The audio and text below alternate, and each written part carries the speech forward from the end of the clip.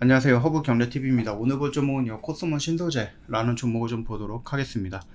어 일단은 여기서 지금 슬금슬금 반등이 조금씩 나와주고 있기는 합니다. 근데 여기서 우리가 욕심을 낼 필요는 없어요.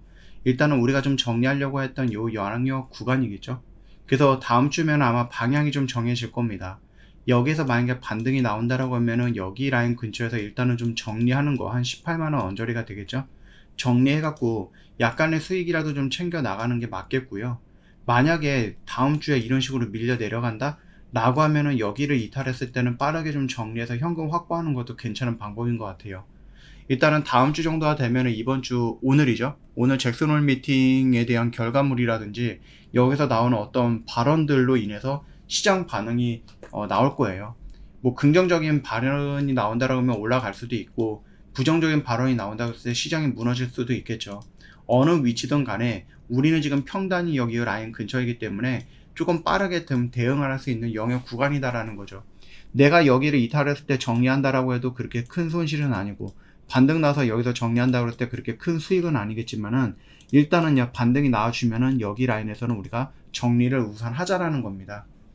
그래야지 내가 조금 더 현금을 갖고 포지션이 자유로워질 수 있거든요. 얘가 만약에 여기에서 만약에 긍정적인 시장이 나와갖고 이렇게 반등 나오면 어떡해요? 라고 할 수도 있죠. 반등 나올 수 있죠. 충분히 가능성은 있죠. 우리는 어떤 말이 나올지 모르겠고 그 말로 인해서 시장이 어떻게 반응할지 모르기 때문에 그러면은 얘가 만약에 여기서 양봉이 이렇게 나왔다라고 하면 차라리 이걸 보고 나서 눌리는 구간을 또 잡는 거예요.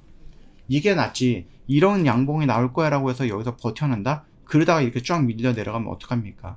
그쵸? 그래서 우리는 시장이 방향성을 정하기 전까지는 양 방향으로 다 봐야 된다. 위로 가든 아래로 가든.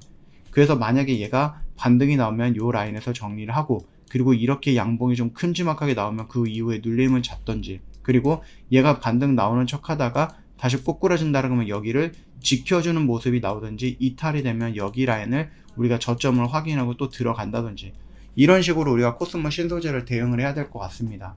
그 점만 참고해 주시면 될 것 같아요. 제가 영상 올려드리면 영상 댓글에 링크 달고 있죠. 클릭하시면 되고요. 연결되면 무료 종목 신청 눌러주세요. 저희랑 단기 매매로 일주일에 4개 상 6종목을 매매하게 될 건데 이번 주 월요일날 내랑 저희랑 100만원 갖고 시작하셨던 분들 지금 계좌를 열어보면 플러스 알파가 되어 있는 거 확인하실 겁니다. 네, 저희랑 하다 보면 이런 결과물이 나올 거예요. 이거 놓치지 말라는 얘기입니다. 꼭 한번 같이 해보자. 저희가 1년 내내 이 결과물을 유지했거든요. 이번 주도 그렇고 다음 주 금요일 날에도 동일한 결과물이 있을 거예요. 그러니까 의심하지 마시고 이것저것 재지 마시고 지금 당장 무료 종목 신청 클릭 한 번만 해주세요. 그러면은 하나부터 열까지 저희가 준비해 놓은 것들 다 드릴 거예요. 초대해 드릴 거예요.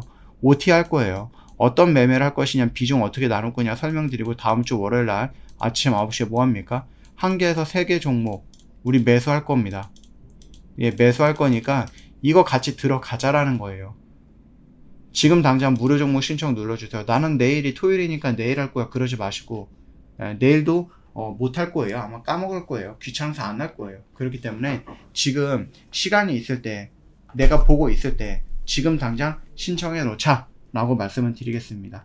오늘 금요일도 마감이 되죠? 시간 없어요. 고민하지 마시고 지금 당장 눌러주세요. 오늘 하루도 고생 많으셨습니다.